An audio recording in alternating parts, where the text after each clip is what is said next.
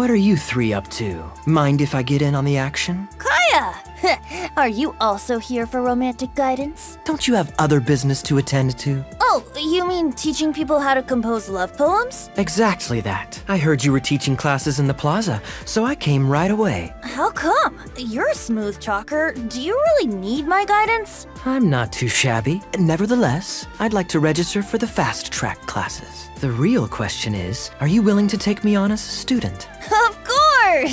When the Mora comes knocking, who am I to keep the door closed? And as your student, may I make some reasonable demands? Demands? Let's hear them. Aside from attending class, we also need homework exercises. Surely a well designed course would require us to put our knowledge into practice and then have our teacher correct the poems we compose. Or to put it another way, I'm actually gonna have to work for a living. Yeah? We're back! Kaeya, have you finished? Welcome back. I'm just finishing up. Time to hand in your homework. All right, all right. Now then, no hurting my feelings. Ooh, hmm. Kaeya, may I read this out loud? Feel free.